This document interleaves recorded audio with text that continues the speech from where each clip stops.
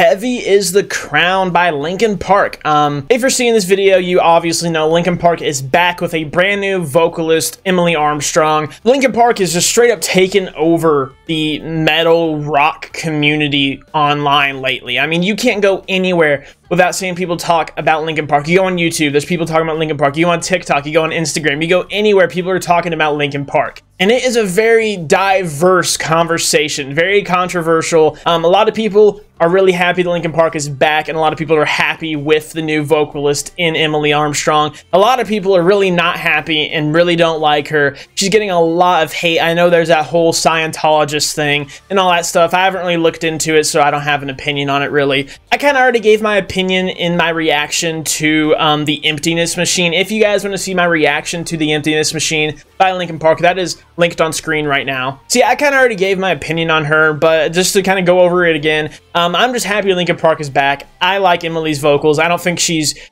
as iconic as Chester. No one could ever fill his shoes. But I think she's doing a damn good job. And I'm just happy to get some new music at the end of the day. It doesn't matter if it's a male singer or an amazing singer. It's uh, it's just good music. And I think she's really talented. I mean, people might not like her or what she stands for or the fact that she's taken Chester's spot. But like as someone who likes Linkin Park, I feel like big Linkin Park fans should just be happy that they're making music again. I have seen a couple thumbnails from other reactors, which that's something that sucks about other reactors uploading before I do is I see their thumbnails and I kind of already know what to expect, which is just unfortunate. I saw like Nik Nocturnal's thumbnail and Bogdan's thumbnail, you know. Apparently there's a, a long scream in the song. Maybe the song's heavy people are saying like giving up 2.0 and stuff like that. So um, that's kind of unfortunate that I know what to expect in those terms. But I'm excited to check it out for myself. So yeah, guys, make sure you check out all the links down in the description. Um, follow me on social media and all that stuff. Um, without further ado, let's check out Heavy is the Crown by Linkin Park. I almost forgot.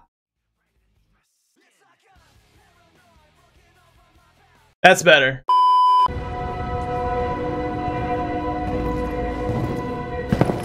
Dude, I can't wait for Arcane Season 2, man.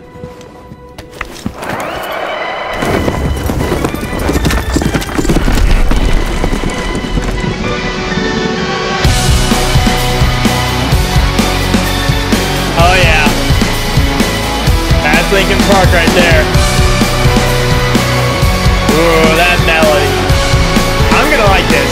I'm excited on the floor again. There we go. The door and then we both know how the story ends. You can't win if your white flag's out when the war begins. Aiming so high, but swinging so low. Trying to catch that fire, bass note so cold. in the pause. Inside and hope it won't show. I'm saying it's not, but inside I know. Today's gonna be the day you notice.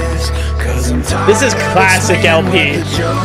This is what you asked for. Heavy is the crown. Fire in the sunrise. Ashes raining down.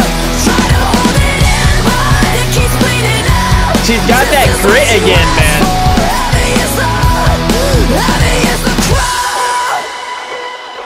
Yeah, I know a lot of people have been really upset about Emily's live vocals. I've been seeing a lot of people just talking shit about her not sounding very good live. Um, I've seen like clips here and there. I don't think she sounds bad. Obviously, like most singers and vocalists sound better in studio than they do live. That's just a known fact. That's just how it kind of works. From what I've seen, she's not bad live. I think she, you know, people have pointed out like a few voice cracks and stuff like that, but she's not bad. I don't I don't I don't really get it. And like people are talking about how she's all auto tune. Every singer uses auto tune and she doesn't it's not overused. You don't hear a lot of pitch correction in the studio songs. So I don't know why people are even complaining about that. I'm already loving this. This has classic LP vibes to it. it honestly this sounds like it could be on Meteora or Hybrid Theory. It's got that you know that Mike rapping and that instrumental. It's just so good. And that chorus, man, that chorus is great. Let's go. Let's get back into it. Turn to run, now look what it's become. Outnumber 10 to 1. Back then, should've bit your tongue, cause there's no turning back. This path, once it's begun, you're already on that list. Say you don't want what you can't resist. Waving that sword when the pen won't miss. Watch it all falling apart like this. This is what you asked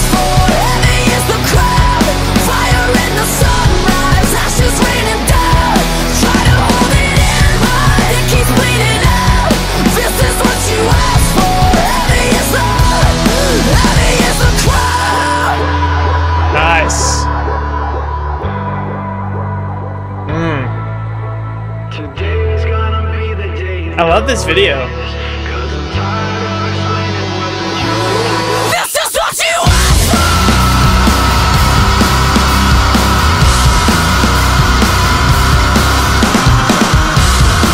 Yeah! She's still going!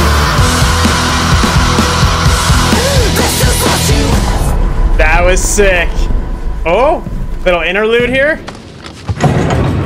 That was a good stream. That was pretty long. This is what you asked for.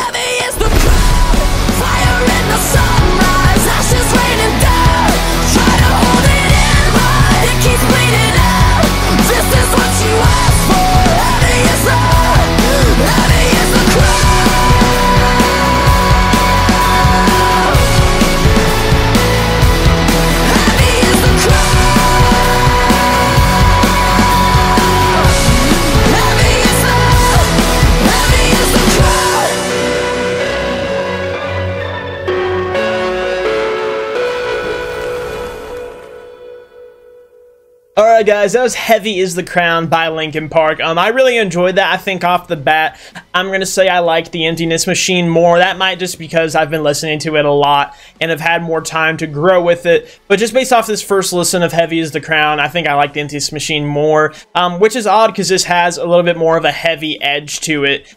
And I just think, I don't know, I think Emptiness Machine was just better written. It just flows better in my opinion.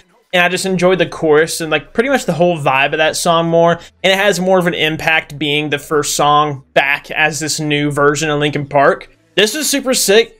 Catchy as fuck chorus. I love the rapping from Mike. Has old school Linkin Park vibes. Um, I liked the little riff down with Emily's long scream. It was a fucking it was a long scream. It was cool. I could definitely see how some fans are gonna be upset that it seems like she's trying to like one up Chester or something like that and like give a long scream. But I think it's like more of an ode to Chester and one of like his most iconic moments. So um, I, I think that's pretty fucking cool, and she nailed it. Yeah, guys, let me know what you guys thought about this song down in the comments down below. While you're down there, let me know which song you guys like more, The Emptiness Machine or Heavy is the Crown. I hope you guys enjoyed this video. If you did enjoy this video, make sure you like the video and subscribe to the channel for future Linkin Park reactions. I will be doing a full album reaction to this album once it's out, and I'll be checking out any other singles that comes out. So if you guys want to see more Linkin Park reactions, make sure you subscribe and turn post notifications on and all that stuff. Thank you guys for watching. I hope you enjoyed, and I'll see you all in the future.